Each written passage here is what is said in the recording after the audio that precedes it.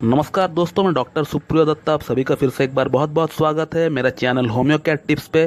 तो दोस्तों, आज हम लोग बात करने वाले हैं एक बहुत ही खास इंडियन होम्योपैथिक मेडिसिन के बारे में, जिसका नाम है विथेनिया सोमनीफेरा। दोस्तों, इसे आम भाषा में इंडियन जिनसिंग भी कहा जाता है, और डे टू डे लैंग्वेज की अगर बात करें तो ये अश्वगंधा नाम से बहुत ही प्रचलित दवा है दोस्तों। तो दोस्तों, आज हम लोग इसी दवा के बारे में बात करने वाले हैं कि इस दवा को हम लोगों को कहाँ और किन किन साइन एंड सिम्टम्स पर यूज़ में लेना है। और at the end of the video हम लोग ये भी जानेंगे कि इस दवा को हम लोगों को किन किन कंडीशंस पर यूज़ में नहीं लेना है।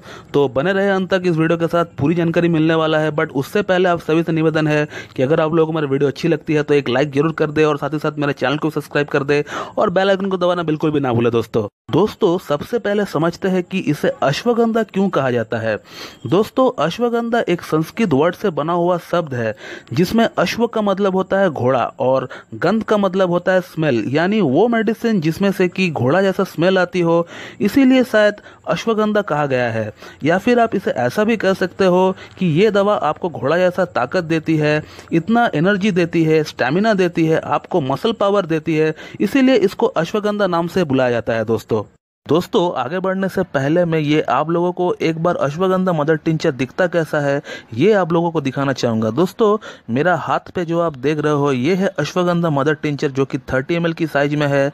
ये विल्मर श्वेबे की दवा है दोस्तों और इसी के साथ साथ मेरे पास पॉन्ड पैक में भी अवेलेबल है अश्वगंधा मदर टिंचर क्योंकि ये हर महीना भारी मात्रा में प्रेस्क्राइब किया जाता है मेरा क्लिनिक से। जिन लोगों में भी sexual problems like nightfall stamina maintain नहीं हो रहा है या फिर वैवाहिक जीवन में संतुष्टि नहीं है। संभोग करते समय वीर जल्दी डिस्चार्ज हो रहा हो या पूर्णतः लिंग में तनाव नहीं आ रहा हो तो इन सभी रीजंस में यूज़ की जाती है दोस्तों अश्वगंधा मदर टिंचर को। 20-20 बूंद करके दिन में तीन बार हाफ़ कप पानी में मिला कर लिया जाए तो बहुत अच्छा रिस्पॉन्स देखने को मिल सकता है दोस्तों। दोस्तों, ये टेस्टोस्टेरोन हार्मोन को भी बूस्ट कराती है। जिस किसी भी पुरुष में दाढ़ी सही से डेवलप नहीं हुआ है, उम्र 20-22 साल हो गया है, मगर मुच्छा अभी तक डेवलप नहीं हुआ है और सीमन बहुत कम डिस्चार्ज होता हो ड्यूरिंग इजैकुलेशन यानी टू एम से भी कम अगर निकल रहा हो ड्यूरिंग इजैकुलेशन तो इस केस में आप अश्वगंधा ज़रूर अपना यूज़ में ले सकते हो, क्योंकि ये टेस्टोस्टेरोन हार्मोन को बूस्ट कराती है और पुरुषों में जो सीमन बनता है दोस्तों, ये इसी हार्मोन का वजह से बनता है।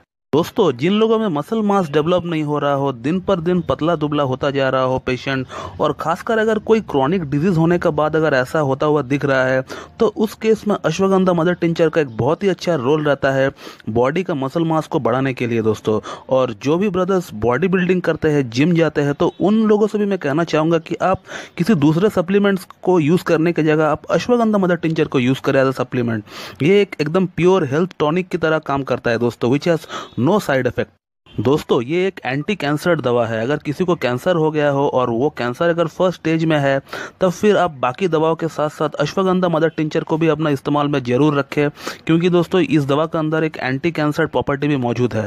दोस्तों, ashwagandha mother tincture heart disease के लिए भी यूज़ किया जाता है। जो कोलेस्ट्रॉल लेवल है, जो लिपिड प्रोफ़ाइल है, उसको भी कंट्रोल करने के लिए यूज़ किया जाता है दोस्तों, अश्वगंधा मदर टिंचर दोस्तों, ये एंटी एजिंग की एक बहुत ही अच्छी दवा है। जवान रहने के लिए, जवान दिखने के लिए अश्वगंधा मदर टिंचर को यूज़ किया जाता है दोस्तों। और मेरा क्लिनिकल प्रैक्टिस में अगर दोस्तों कई सारे महिलाएँ ऐसी है जो कि इस दवा को अपने डेली रूटीन बेसिस पे यूज़ कर रहा है, और आप यकीन नहीं करोगे they are in their mid forties but they still look so young दोस्तों, ये ब्रेन की एक अच्छी टॉनिक है, जिस किसी भी को अगर भूलने की आदत है, स्पेशली जो बच्चे होते हैं, उनमें अगर कोई भी स्टडी मटेरियल दिमाग में याद नहीं रहता है, स्टडी करने के तुरंत बाद ही भूल जाता है, अगर ऐसा सिम्टम अगर आपको बच्चों में देखने को मिलता है तो फिर दोस्तों आप अश्वगंधा पाँच पाँच बूंद करके दिन में दो बार दे दीजिए तो फिर दोस्तों आपको इस तरह की बच्चों में जो भूलने की जो शिकायत है, ये ठीक हो जाएगा दोस्तों। दोस्तों, अब बात करते हैं कि इस दवा को हमें कौन कौन सी कंडीशन पर यूज़ नहीं करना चाहिए। तो जो पहला कंडीशन है, वो है प्रेगनेंसी एंड ब्रिस्ट फीडिंग जी हाँ दोस्तों, अगर आप प्रेग्नेंट हो या फिर आपका फीडिंग बेबी है, तब फिर दोस्तों आपको उस टाइम दौरान इस दवा को आपको यूज़ नहीं करना चाहिए। दोस्तों नेक्स्ट जो कंडीशन है, वो ये है कि जिन लोगों की ब्लड प्रेशर और ब्लड शुगर नॉर्मली लो रहती है तो उन लोगों को भी दोस्तों ये दवा यूज़ नहीं करना चाहिए, क्योंकि इसे यूज़ करने से ऐसा हो सकता है कि उस लेवल में और गिरावट आ सकती है। दोस्तों, इसका अगला जो कंडीशन है, वो ये है कि इस दवा को आप ऑटो इम्यूनिट डिज़ीज़ में यूज़ नहीं कर सकते हैं। Auto immune disease like SLE lupus alopecia areata sclerosis rheumatoid arthritis और भी कई सारे डिज़ीज़ है जो कि ऑटो इम्यूनिट डिज़ीज़ के अंतर्गत आते हैं। तो इन सभी डिज़ीज़ में आप इस दवा को यूज़ नहीं कर सकते हैं दोस्तों। और इसी के साथ दोस्तों, अगर आपको थायराइड है, तब भी आपको ये दवा यूज़ नहीं करना चाहिए दोस्तों। तो दोस्तों, ये था एक short video about withania somnifera यानी अश्वगंधा। अगर आपको इस टॉपिक से रिलेटेड मुझसे और कुछ जानकारी चाहिए तो फिर आप मुझसे कांटेक्ट कर सकते हो। मैं मेरा व्हाट्सअप नंबर और ईमेल आईडी दोनों वीडियो का डिस्क्रिप्शन बॉक्स में दे दूँगा। तो चलिए दोस्तों thank you very much for being the part of my video and have a good day